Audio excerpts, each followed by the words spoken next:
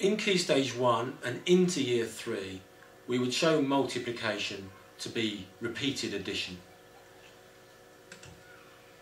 So 5 times 3 would be shown as 5 added 3 times.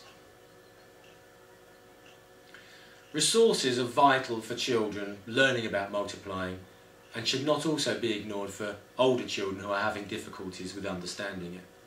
Arrays are another useful visual tool as they help the children to see, for example, three lots of seven and how that relates to seven lots of three.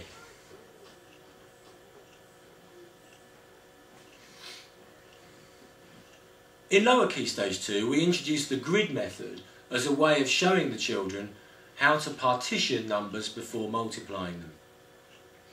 So in this example, the 23 has been broken down into 20 and 3 and will then in turn be multiplied by 8. So 20 times 8 is 160 because the children should know 8 2s are 16 and 8 times 3 is 24. They can, in most cases, then add that up in their head, giving a total of 184.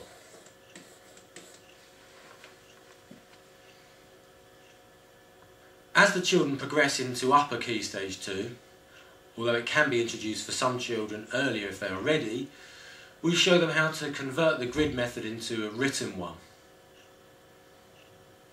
So, on this example, we would first of all multiply 300 by 9, which will give us 2700 or 2700. We would then uh, multiply 40 by 9, and 9 fours are 36, so that would be 360, or 36 tens.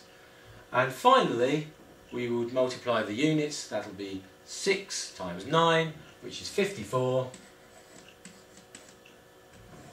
and then add all those numbers up.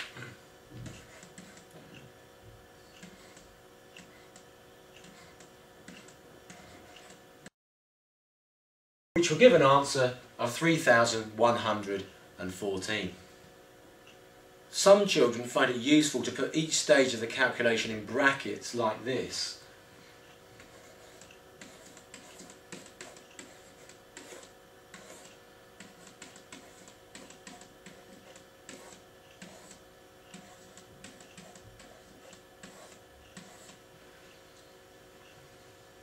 But we find that when proficient with the method, they stop doing so, as it's time consuming and by then probably unnecessary.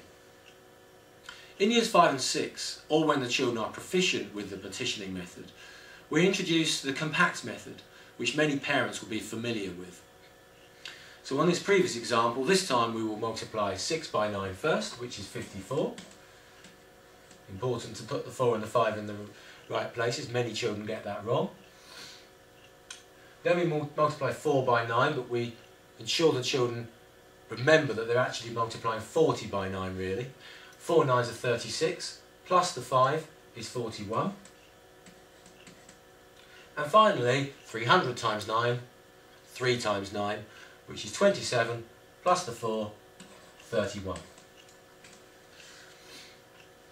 Again though, it's very important by the time they leave primary school that they know when and when it isn't appropriate to use this method because they may well be better, quicker methods of doing that or in fact they may well be able to do this kind of thing in their head in which case they would be partitioning the number and multiplying the bigger numbers first.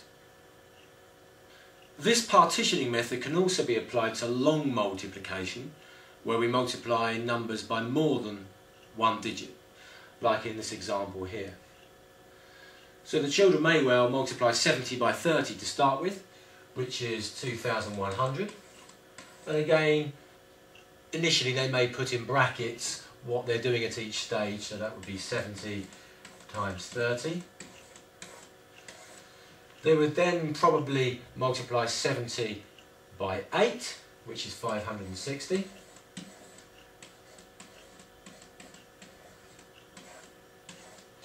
Then they would move on to multiplying uh, 2 by 38. So initially 2 times 30, which is 60.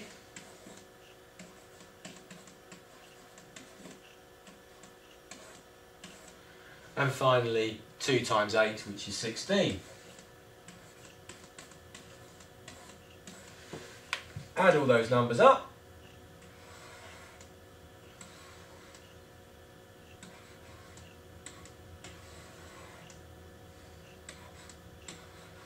And we have a total of 2,736.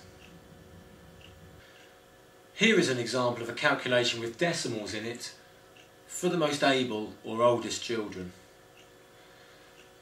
So 6 times 6,000 is 36,000.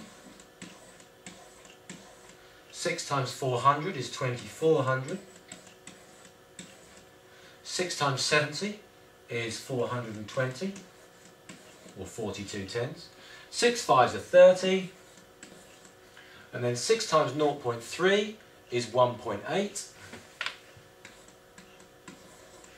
and 6 times 0.09 is 0.54.